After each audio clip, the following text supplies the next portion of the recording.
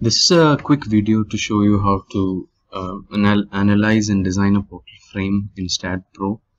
The question that we have is a, a portal frame which um, is fixed on the left column at the bottom and has a pin in the right column and the loads are provided as seen. There is a concentrated load uh, which has been assigned as a live load and there is a uniformly varying load on the right column and then there are a few distributed loads on top. So we're going to be making this model in uh, STAAD and then uh, run an, run an analysis as well as design. So let's uh, quickly jump into it. So what we have is uh, STAAD I'm going to create a new project. Let's call it frame and let's name it as uh, portal frame analysis design. And I'm going to be using meter and kilonewton at the moment. And then um, if required we will change it during the analysis during the modeling. Next uh, yes I want to overwrite it um, add a beam finish. So uh, we have a default grid here where we'll be um, drawing the beams on. So we'll see how this uh, can be changed if, if at all it's required. Now there is an edit. I want to change it to um, 1 meter spacing here and 0.5 meter spacing here uh, which helps me create this uh, grid and then click OK. Now when you look at it uh, we are we will have to create a node uh, over here over here where the concentrated load is then a few nodes on the top beam uh, right over here between at this uh, point at this point and this point and then finally over here. So let's uh, start creating the grids. Yeah, let's creating the nodes on the grid. So we start drawing the beam straight away. So draw here.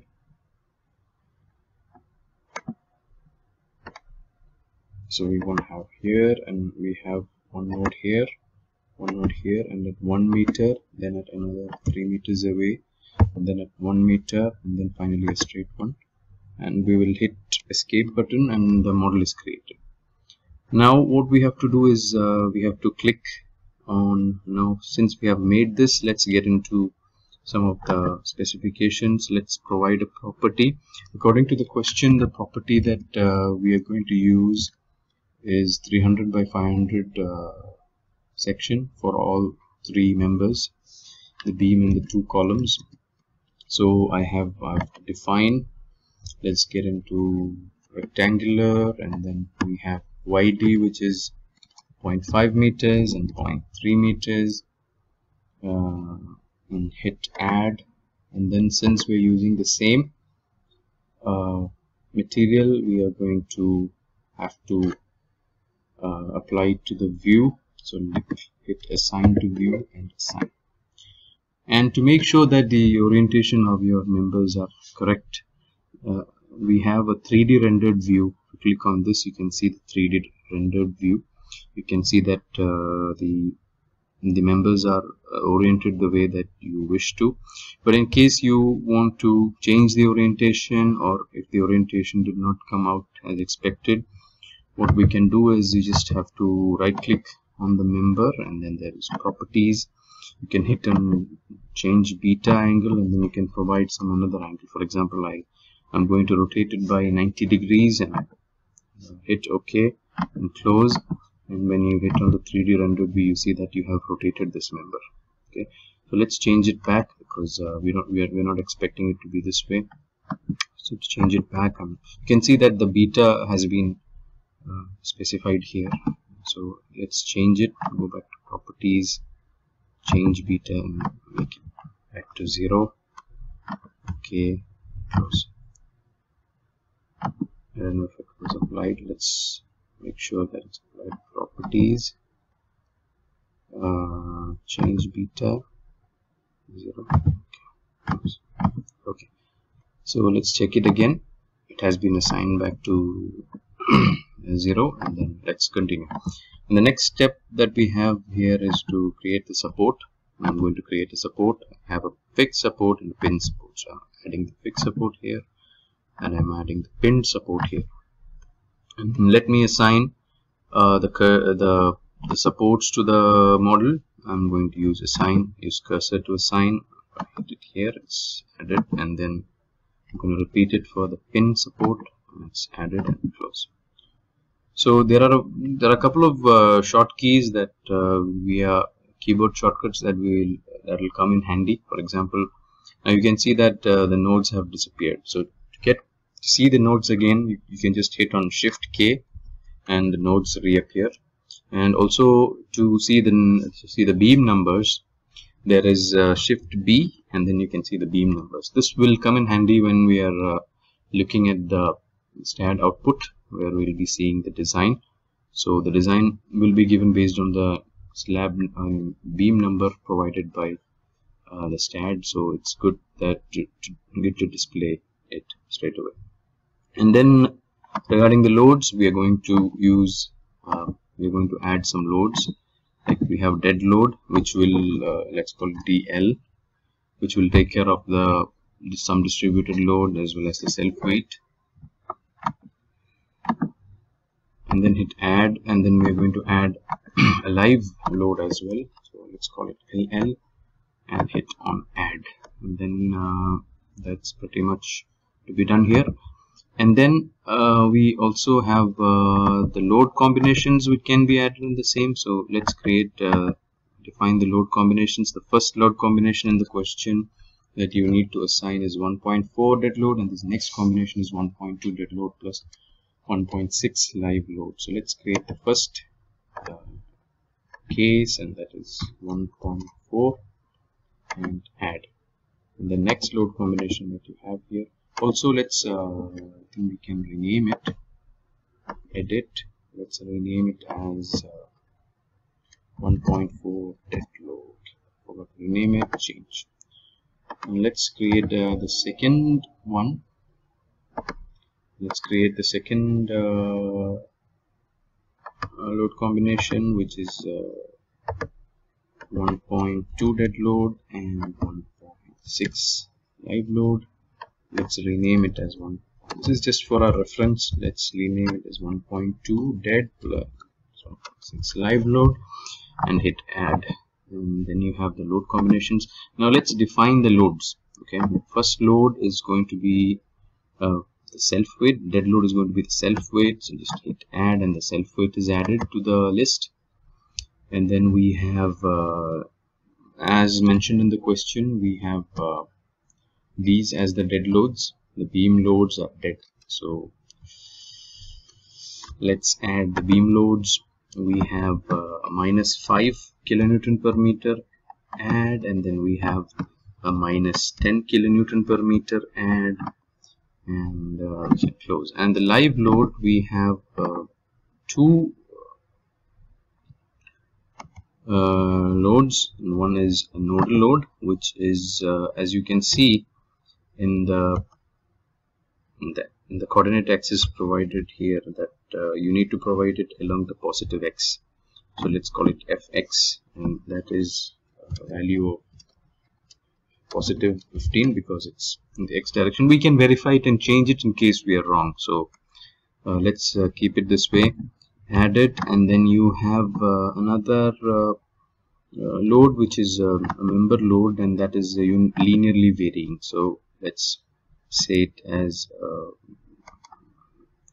0 and it is varying as 5 and it, it is in the negative direction. So negative x because you we have provided we have created the node from the member from starting from here to here. Therefore you might have to provide 0 and minus 5 let's see in case it's wrong we can change it. So let's keep it as minus 5 uh, and uh, add. That's it. And then let's start applying it. You know self weight is applies to all the members. So let's click on self weight and assign to view okay let's assign the first distributed load. We will use cursor to assign assign. We have one here and one here. And then we have this load which is assigned here. So you can just zoom out uh, and see uh, the loads they are okay. And then we have to provide the uh, the concentrated load 15 kilonewton assign. We hit it here and it has appeared and the distributed load is to be applied onto this member. And yes it has been applied in the correct direction. In case it is uh, assigned uh, as uh, not as expected you can just go around and uh, change the values. You can hit this one edit and then it will change it uh, straight away without having to define it again. So this is uh, pretty clear. I then we can see some of the things we can start uh, this has been applied load has been designed. I think we can run an analysis just to see that everything is as expected. So I'm going to hit on commands analysis perform analysis uh, no print. And we are going to analyze. Save and we have analyzed it and there are no errors warnings so I think then go to post processing mode let's see the results. Okay. Let's see the shear. Let's uh, change the scale. Hit apply. We have shear in y. Oops. Let's see how mz is varying. Um, apply immediately and value c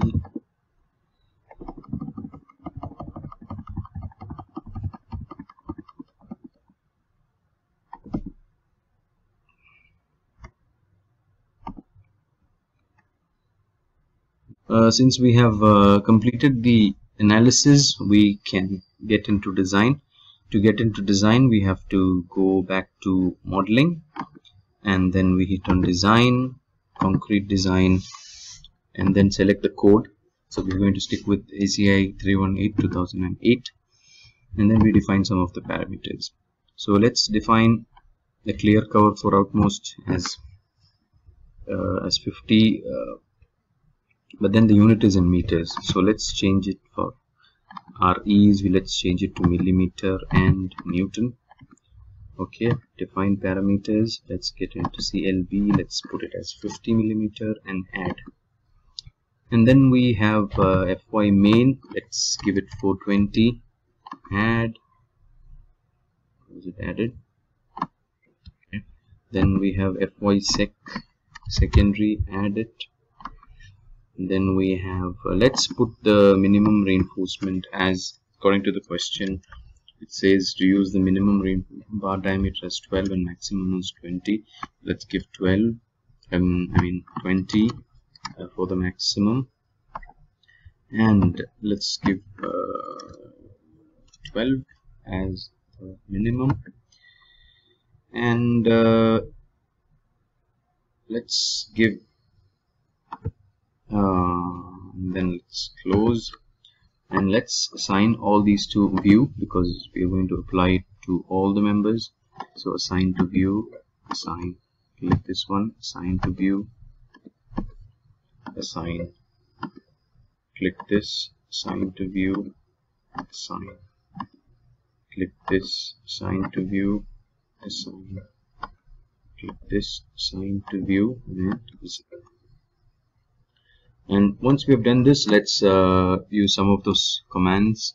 We are going to design a beam so add this command. Uh, we are going to design a column add this command.